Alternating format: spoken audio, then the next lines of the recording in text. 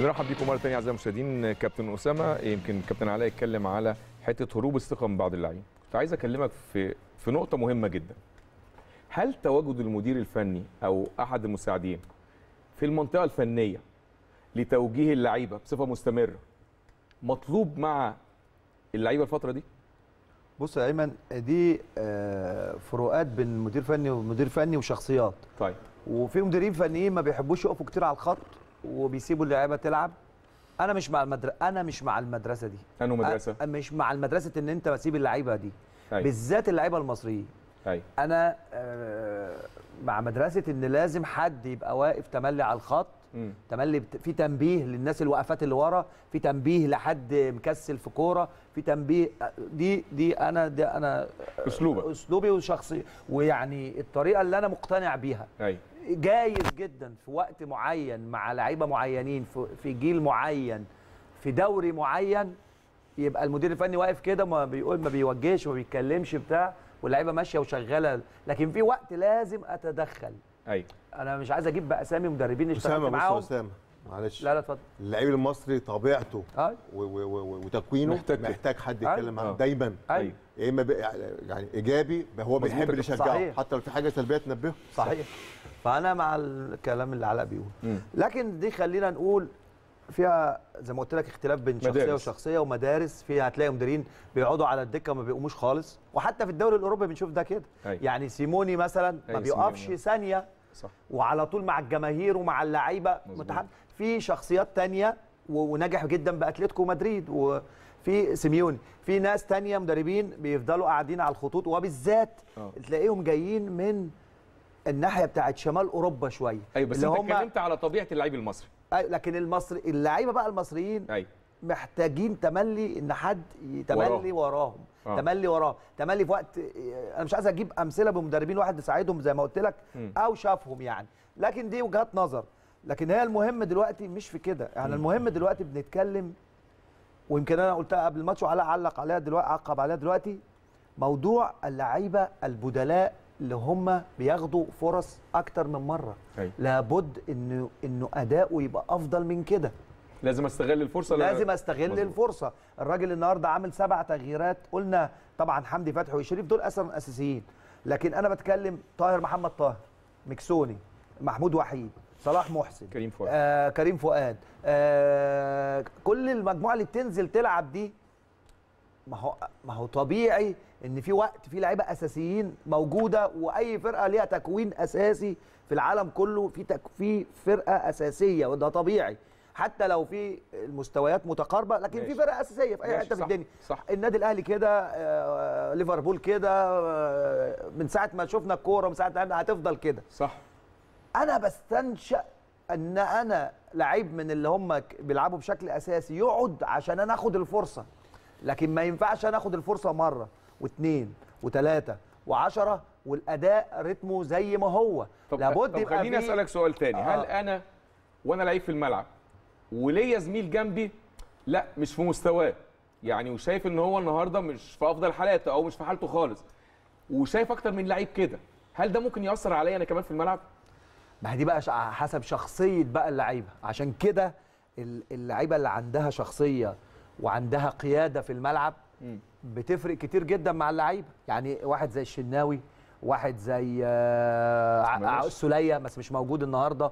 واحد زي حمدي فتحي كتر خيره طبعا واضح إنه يعني من كتر ال- المباريات زي ما الراجل ريح النهارده علي معلول أيوة. وكنا بنقول محتاجينه في وقت معين ناحية الشمال لأن ما فيش اختراقات منها خالص ولا كرات عرضية محتاجين علي معلول يبقى حتى. آخر ربع بس ساعة يعني. آه بس هو الراجل من وجهة نظره بيحضر من وجهة نظره مم. شايف إنه يريح علي معلول خالص حتى لو هو شايف إنه ممكن يحتاجه ربع ساعة ولا ما لعبوش فاللعيبة اللي هي الشخصية واللي عندها شخصيه دي بتأثر بقى في اللعيبة اللي إيه؟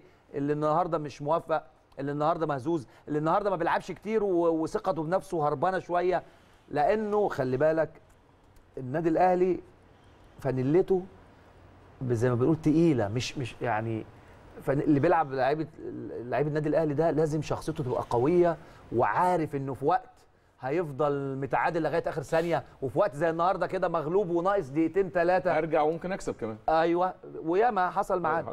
فدي مهمة جدا. فأنا بقول النهارده الشوط الثاني لما الراجل وكلنا طالبنا بيها لما لعب بيرسي تاو ناحية اليمين أول ما ابتدى. كان بي... دي ما كانتش موجودة. صح. بعد كده لما بيرسي تاو دخل في راس الحربة أو الشوط الأولاني اللي هي إيه؟ محدش بيروح.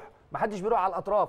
بيرسي تاو اول ما نزل العشر دقايق الاولانيين اخترق من ناحية الجنب هي يا اليمين. كابتن اللي انت آه. بتتكلم عليها يا كابتن أسامة أيوه يعني آه دي الهجمة اللي خدها بيرسي تاو ودخل بيها 18 وشاط بيمينه فوق العارضة مظبوط تحس إنه عمل فعلا الاختراقات دي ما كانتش موجودة الشوط الأولاني لا عمل حركة صح. صح. لما نزل يعني عامل آه، حركة ناحية الجانب اليمين مظبوط. لما شريف طلع برضو أنا ما فهمتهاش دي ليه شريف طلع ودخل بيرسي تاو جوه راس حربة بقى مقفول عليه. مظبوط. كان هو بيجي من تحت سريع ما تعالى بقى لل... لل... لل... للجزء اللي هو إيه؟ الأطراف اللي هي كان فيها ميكسوني وهاني والناحيه الثانية محمود وحيد ومحمد طاهر. أيوه.